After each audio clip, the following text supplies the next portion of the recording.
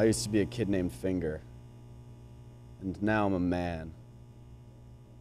Named Handyman Sam. I used to be an ordinary Boeing worker. And now I'm a handyman. Named Handyman Sam. I beat up a man.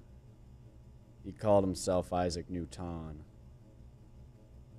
He was a fing nerd. So I beat him up. He said if I killed him, the second law of physics would disappear. I didn't listen. And now, I'm the only one who knows the name. Man. Handyman Sam. But I'm also the only one who knows his second law is gone. Which means. The name is Man. Sandy Ham Man. Sorry. Stand bam begin a damn and an M&M. Damn. It's over, Handyman Sam! The Seattle Tacoma area is mine! Damn you horsepower and your freaking stupid ability to create or destroy energy from thin air. Oh, yeah? What are you gonna do about it? One of these. Oh! Stop! You violated the law of physics! Oh, I'm sorry.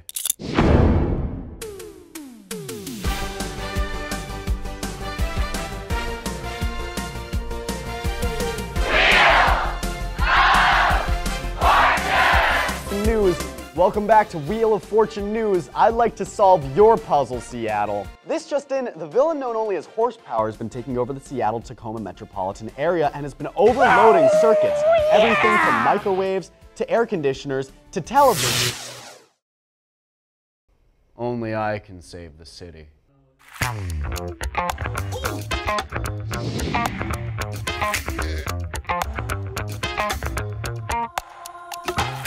Hey, you're impersonating an officer.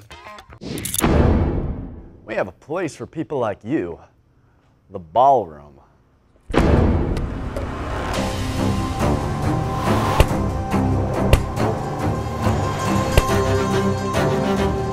Because I have the ability to prevent the bowling balls from making me accelerate proportionally.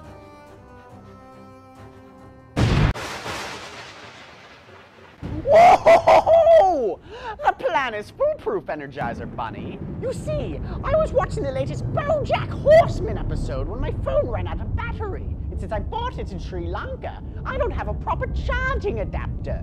And so if I can't charge my phone, then no one can! Hey, you dirty dog. Oh, looky here, it's Handyman Sam.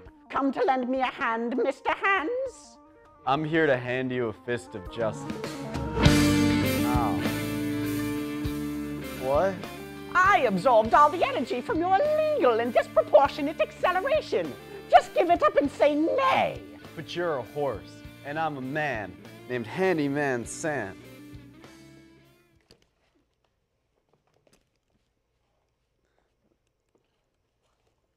Huh? Trying to ride a bike without the second law, Sam? Try again! The mass of your bicycle won't move without the force of your legs. Yep, it was me the whole time. Warden saved the day. Sam, this was a test for you. What, you locked me up for a test? Yeah, it was all part of your training to become the next warden.